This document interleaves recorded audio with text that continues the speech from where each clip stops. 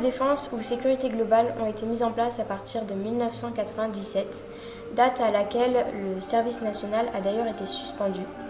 Elles permettent de maintenir un lien entre la défense nationale et euh, la jeunesse en leur ouvrant des, perspectives d'avenir dans de multiples domaines en lien avec l'armée de métier.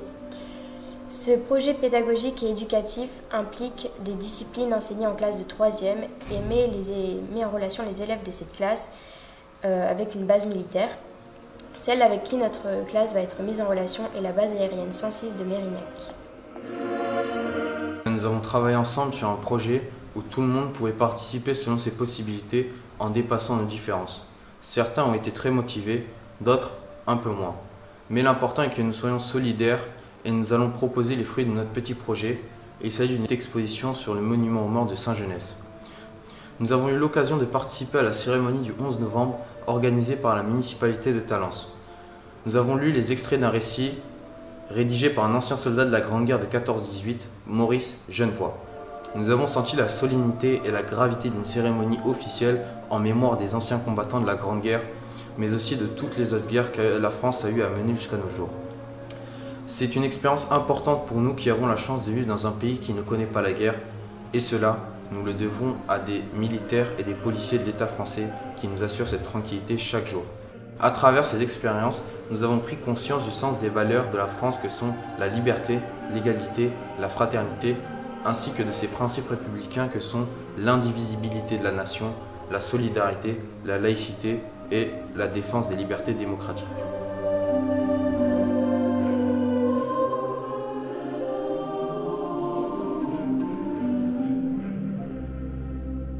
Nous avons effectué des recherches sur les personnes dont les noms sont gravés sur le monument. Nous avons trouvé et imprimé le bordereau de décès rédigés à la main par les services de l'armée chargés de ce travail. Nous avons donc pu connaître la date et le lieu de naissance, mais aussi la date et le lieu de décès des soldats. Nous avons aussi retrouvé un site qui nous a permis d'avoir les photos de certains soldats et donc de voir leur visage mais aussi les conditions de leur mort au combat. C'était très émouvant. Certains étaient très jeunes, 16, 18, 19, 20 ans. Les plus vieux avaient entre 45 et 53 ans. La grande majorité étaient des anciens élèves, mais quelques-uns étaient aussi professeurs. Nous avons établi une petite base de données sur un tableur Excel qui nous a permis de connaître l'âge moyen de ces hommes inscrits sur le monument, 24 ans. Nous avons l'impression d'avoir un peu redonné vie à ces noms gravés, exposés au regard de tous, mais un peu ignorés. Le programme d'histoire de 3e nous donne l'occasion de comprendre un peu plus la Grande Guerre de 14-18. Le cours nous a appris que cette guerre a été une guerre d'un genre totalement nouveau par son nombre de tués et de disparus. 8 millions pour tous les pays belligérants, dont 1 400 000 morts pour la France. Nous savions que notre pays a payé le plus lourd tribut en perdant 4% de sa population totale.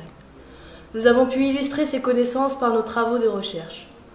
Nous avons pu voir ainsi que parmi les morts inscrits, certains ont été portés disparus, d'autres ont été tués à l'ennemi, comme c'est mentionné sur beaucoup de bordereaux de décès. D'autres sont morts de maladies contractées sur le front, et dans ce cas, beaucoup ont sûrement dû être emportés par l'épidémie de grippe espagnole qui a sévi à partir de 1918. Enfin, la grande majorité des soldats ont été tués sur le front nord-est de la France, dans les départements de la Meuse, de la Somme et de la Marne, mais certains sur le front belgique, mais aussi oriental en Grèce, en Turquie et même en Serbie. La grande majorité des tués faisaient partie du régiment d'infanterie, mais des marins, des artilleurs et des aviateurs sont aussi ressortis. La mention de disparus est très émouvante car les corps n'ont pas été retrouvés, ce qui prouve de la puissance de feu de l'artillerie, des obus explosifs et des mitraillettes qui désintégraient les corps. Et ça, c'est un aspect de la guerre d'un genre nouveau, utilisant l'industrie d'armement. Les citations militaires notées pour beaucoup d'entre eux mentionnent leur courage et leur bravoure. Pour ma part, j'ai compris qu'ils se sont battus pour défendre leur pays, pour défendre leurs valeurs, leur famille de l'invasion. Nous avons un peu pensé et discuté sur cet engagement, en nous demandant si, aujourd'hui, les jeunes gens accepteraient de combattre comme ces hommes. Il est très difficile de répondre. Beaucoup ont dit que non, mais d'autres ont dit que oui. Nos conditions de vie sont complètement différentes aujourd'hui pour en juger sereinement. Les jeunes ont cependant besoin de trouver un but et de s'engager aussi, mais d'une autre manière. Le souci de l'environnement est important pour les jeunes générations, Mais d'autres engagements existent, la pauvreté notamment. Quoi qu'il en soit, nous avons besoin d'un objectif, de nous projeter dans l'avenir, d'avoir un idéal. Nous avons la chance de vivre dans une société qui nous offre le pouvoir d'être à l'abri, d'accéder à une éducation, à des formations professionnelles, d'avoir une sécurité assurée par une police et une armée de métiers entièrement dévoués à la défense de l'État et aux Français sans corruption. Nous devons tout cela à ceux qui nous ont précédés et qui ont construit notre pays. Nous le devons à ces hommes inscrits sur le monument, nous le devons à ceux qui poursuivent le combat pour nous préserver de la guerre sur notre sol. Rendre hommage à ces hommes est important, car ils, ont, car ils sont partis sur le front et ont fait le devoir qui leur était assigné. Ils l'ont fait parce qu'il le fallait, ils l'ont fait par esprit de fraternité et de solidarité envers nous tous. Ils ont mis en application ce que contient notre devise républicaine. Liberté, égalité, fraternité.